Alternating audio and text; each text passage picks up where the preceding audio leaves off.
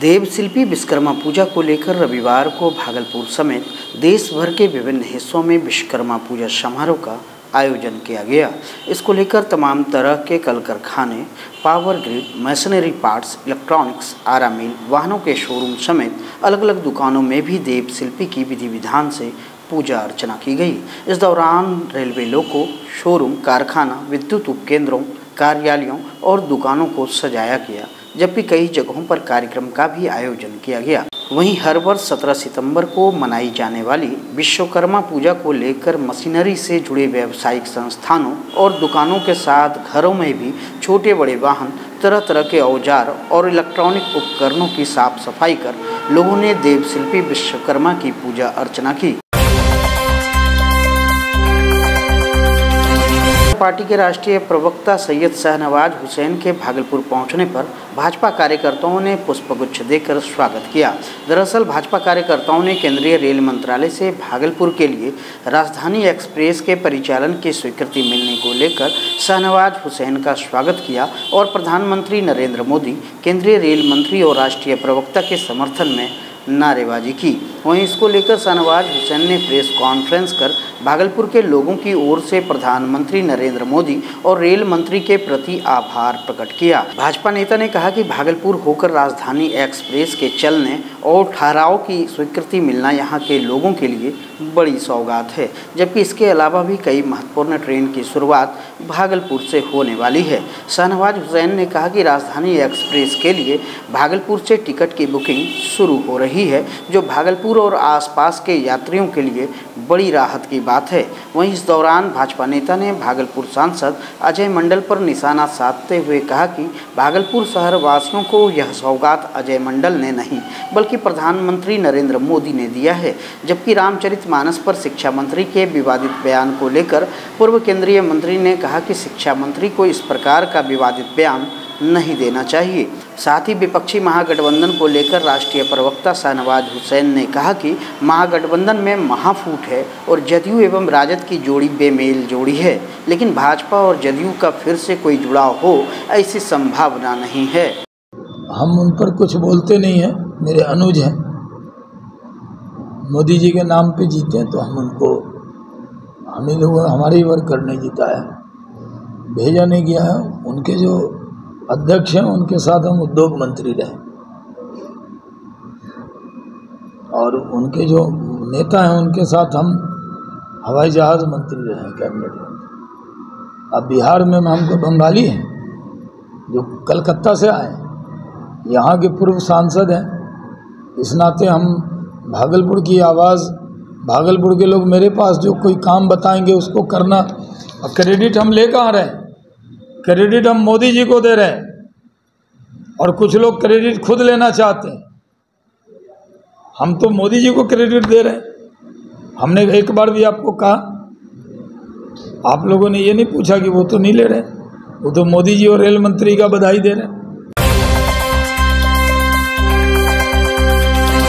भागलपुर के सबौर थाना क्षेत्र अंतर्गत बीते 14 सितंबर की देर रात्रि में एक अज्ञात हैवा ट्रक ने बाइक सवार को जोरदार टक्कर मार दी, जिससे बाइक सवार अनियंत्रित होकर सड़क किनारे गिरकर अचेत हो गया। वहीं इसके बाद राहगीर और मौजूद ग्रामीणों ने घायल की पहचान सबौर थाना क्षेत्र के वन सिटी कर निवासी रंजीत पासवान के रूप में की और घटना की सूचना उसके घर वालों को दी, जिसके बाद ग्रामीणों और परिजनों की मदद से घायल को इलाज के लिए निजी नर्सिंग नर्सिंग होम में भर्ती कराया गया। वहीं बाइक सवार की गंभीर हालत को देखते हुए डॉक्टरों द्वारा प्राथमिक उपचार के बाद बेहतर इलाज के लिए उसे सिलीगुड़ी रेफर कर दिया गया, जहाँ इलाज के क्रम में शनिवार की देर रात्रि घायल युवक की मौत हो गई।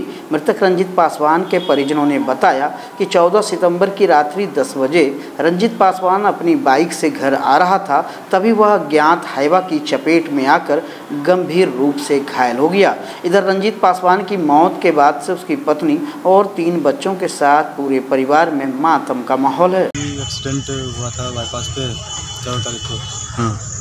तो उसी से हम लोग जैसे हम तो घर में थे नहीं। तो मेरे भैया का दोस्त थे तो वहाँ देखे तो हॉस्पिटल बगल में। ए बी सी वहाँ से रेफ़र कर दिए। तो सिल्लीगुड़ी लग जाने के दौरान वहाँ पहुँचते पहुँचते मौत हो गई।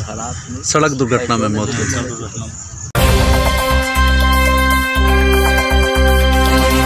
भागलपुर में डेंगू बीमारी का प्रकोप लगातार बढ़ता ही जा रहा है और इसकी चपेट में आकर शहर के लगभग सभी इलाकों में लोग डेंगू का डंक झेलने को विवश हैं। एक और जहाँ डेंगू बीमारी से बचाव और इलाज को लेकर स्वास्थ्य विभाग और जिला प्रशासन के द्वारा अस्पतालों में ज़रूरी इंतज़ाम करने की बात कही जा रही है, वहीं रोज़ाना मरीजों की बढ़ती संख्या सभी के लिए चिंता और भय का कारण बनता जा रहा है। जिला प्रशासन और स्वास्थ्य विभाग के पदाधिकारियों के साथ चिकित्सकों के द्वारा डेंगू की चपेट में आने से बचाव के लिए लोगों के बीच जागरूकता फैलाने की बात कही जा रही है, जबकि जिलाधिकारी के निर्देश पर ज़िले के मायागंज अस्पताल और सदर अस्पताल समेत सभी अस्पतालों में मरीजों के बेड के अलावा दवा और सभी ज़रूरी इंतज़ाम करने की सख्त हिदायत भी दी गई है। बता दें कि काफ़ी संख्या में डेंगू के मरीजों का इलाज घरों पर ही किया जा रहा है। लेकिन बावजूद इसके, अस्पतालों में भी काफ़ी तादाद में डेंगू पीड़ित मरीजों का इलाज जारी है। इसको लेकर शिशु रोग विशेषज्ञ डॉक्टर आशुतोष रंजन ने कहा कि डेंगू बीमारी का समय पर इलाज नहीं होने से परेशानी बढ़ सकती है। इसलिए समय रहते ही चिकित्सकों से संपर्क करना चाहिए और इससे बचाव के लिए हम सभी को हर तरह से सावधानी बरतने की ज़रूरत है। साथ ही कहा कि बच्चों को भी डेंगू अपनी चपेट में ले रहा है। इसलिए हर जगह साफ़ सफ़ाई का ख्याल रखते हुए जहाँ तहाँ कूड़ा कचरा फेंकने से बचना चाहिए और हमेशा शरीर को पूरी तरह से ढकने वाले कपड़ों का उपयोग ज़रूरी है। तेईस में डेंगू के केसेस बहुत ज़्यादा आ रहे हैं। इसका मुख्य वजह बाहर गंदगी की वजह से है और लोग साफ़ सफ़ाई खुद नहीं ध्यान दे रहे, घर में, बाहर में। ये लोगों का काम है आसपास सफ़ाई रखना। और इस बार तो ये कहर मुझे लगता है कि दिसंबर तक जाएगा। नेचुरल नेचर ही इसको कंट्रोल कर सकता है, जैसे हम लोग पिछले बार 2018 में देखे थे कोरोना के पहले। हर एक घर में डेंगू था और इस बार भी उसी प्रकार से डेंगू का कहर जा रहा है। पानी के बर्तन को ढक के रखें और बाहर कचरे को ना फेंकें और साफ़ सफ़ाई, खुद से अपना घर का, कॉलोनी का, रोड का सफ़ाई करें। यह हमारा जिम्मेवारी है। नगर निगम, प्रशासन सब लोग बहुत अच्छा कर रहे हैं। हम लोगों को और सतर्क होकर अपनी साथ अपने कॉलोनी और घर का साफ़ सफ़ाई करना बहुत ज़रूरी है।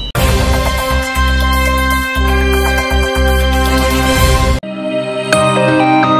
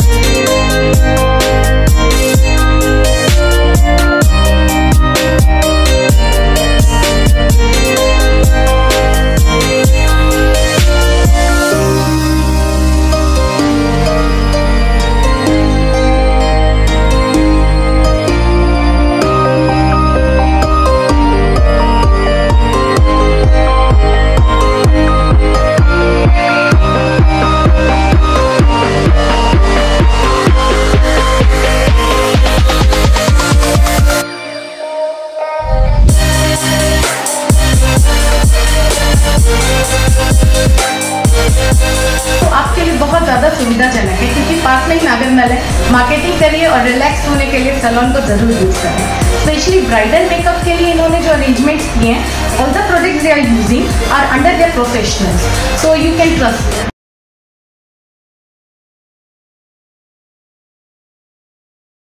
मेरा नाम अजय कुमार है। गोड्डा जिला मेरा घर है। डायबिटीज़ से पूरा परेशान रहते थे हम। अंग्रेज़ी दवाई खाते थे। जब खाते थे तो कम होता था, फिर बढ़ जाता था। तो एक दिन हम यूट्यूब में सर्च करते करते देखते हैं तो ए के रॉय भागलपुर डॉक्टर साहब दिखाए। उसमें, यहाँ देखे शुगर मतलब जड़ से ख़त्म हो जाता है, वो भी आयुर्वेदिक दवाई से। उसके बाद हम आए ट्रीटमेंट कराए, एक सप्ताह कराए, उसके बाद घट गया शुगर उसके बाद लास्ट में खाना, दवाई तीन महीना खाने के बाद सब छोड़ दिए। दवाई ववाई खाने छोड़ दिए। उसके बाद चावल, रोटी, सलाद, ये सब सब खा के चेक कराने के बाद एक सौ इकचालीस मेरा आया। और आज ठीक हो गया। इसीलिए सबको कहना है कि जिनको भी डायबिटीज़ पेशेंट है, वो आके यहाँ दिखाइए। कन्फर्म एकदम ठीक हो जाइएगा। इक्कीस दिन से मेरा दवा बंद है। और फिर भी जाँच कराएँ, सलाद, रोटी, चावल, फिर, और उसके बाद फिर से हम जाँच कराएँ तो एक सौ इकचालीस रिपोर्ट आया।